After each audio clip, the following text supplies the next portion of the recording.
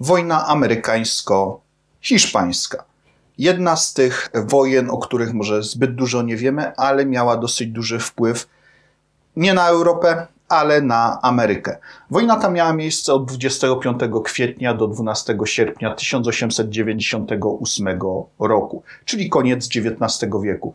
I był to taki początek wyjścia Stanów Zjednoczonych z dotychczasowej polityki izolacjonizmu. Powody proste, czyli interesy ekonomiczne oraz strategiczne Stanów Zjednoczonych.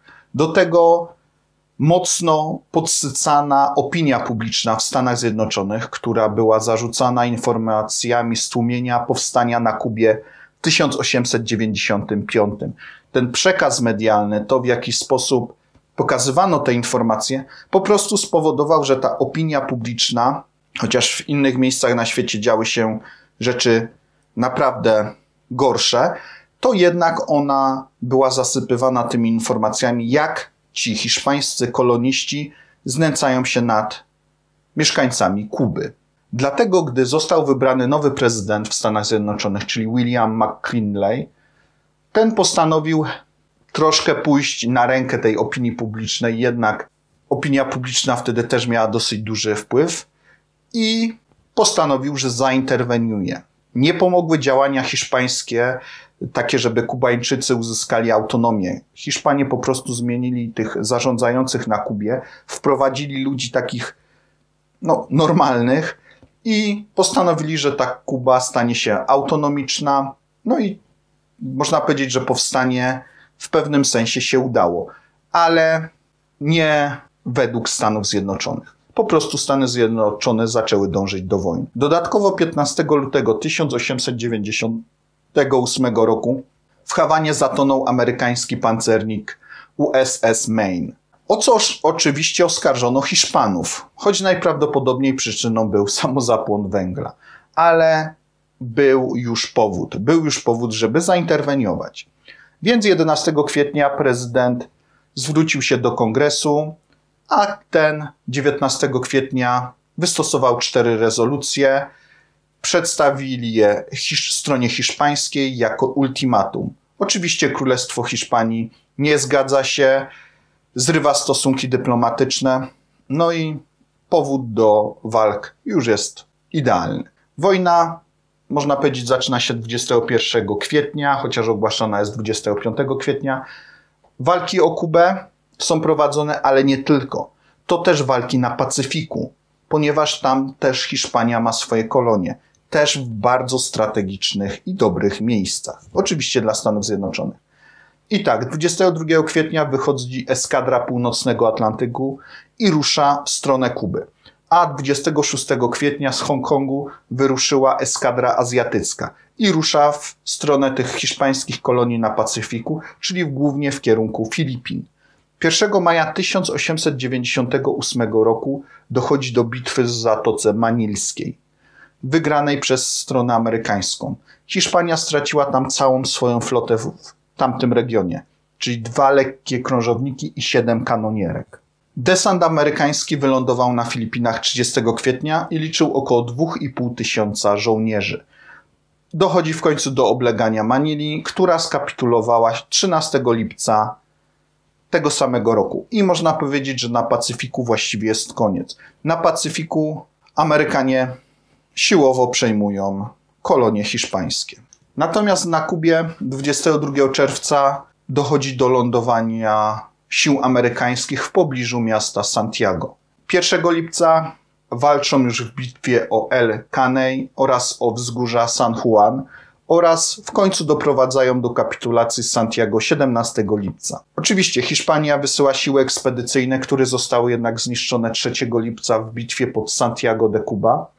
Po stronie hiszpańskiej toną cztery krążowniki pancerne i dwa niszczyciele, czyli całość floty po prostu, tu można powiedzieć, Hiszpania nie jest od dawna już taką potęgą morską, jak była kiedyś. A strona amerykańska bardzo szybko się rozwinęła, no i ma o wiele nowocześniejszy, o wiele skuteczniejszy i lepszy sprzęt. 25 lipca siły amerykańskie lądują też na Portoryko, gdzie też zaczynają walczyć. Oczywiście Hiszpania nie była w stanie ani skutecznie walczyć, ani na Kubie, ani na Portoryko dalej. Nie miała też możliwości nawet użycia swojej floty. To było bez sensu. I za pośrednictwem Francuzów udaje się doprowadzić, oczywiście Hiszpanie to zapoczątkowali do zawieszenia broni 12 sierpnia, a 10 grudnia zostaje podpisany traktat paryski. USA uzyskało Filipiny, Portoryko, Guam oraz Kubę. Kuba, która dostała niepodległość, ale bardzo, bardzo ograniczoną. Z takimi zapisami jak te, że jeśli na Kubie zacznie dochodzić do sytuacji, gdzie te interesy Stanów Zjednoczonych mogą być zagrożone, to Stany Zjednoczone mają pełne, pełne prawo tam interweniować.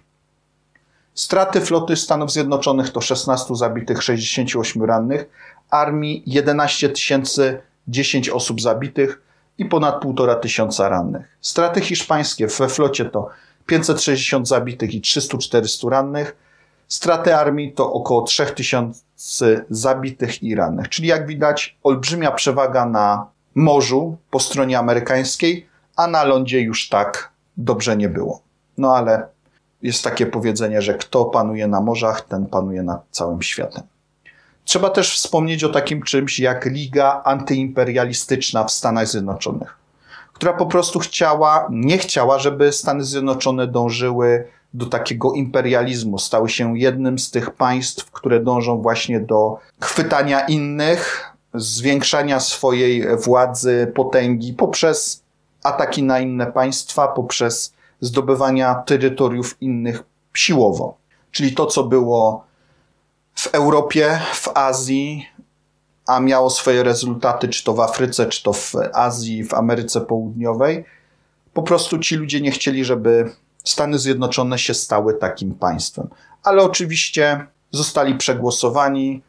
To, co uzyskały Stany Zjednoczone, było zbyt dużym kąskiem, było czymś zbyt dużym, żeby po prostu takie coś oddać.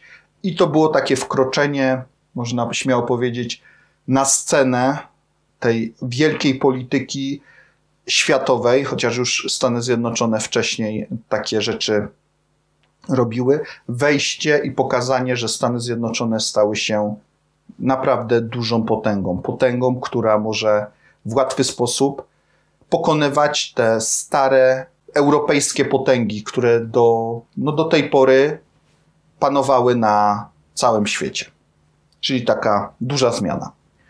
E, dziękuję za uwagę. Zapraszam ponownie, zapraszam na inne materiały, zapraszam na moje inne kanały, linki znajdują się w opisie. Jeśli możesz, to udostępnij, opublikuj, poleć, pokaż znajomym, tak żeby ten materiał, inne materiały dotarły do jak największej grupy ludzi. Dziękuję za uwagę i do usłyszenia i zobaczenia ponownie.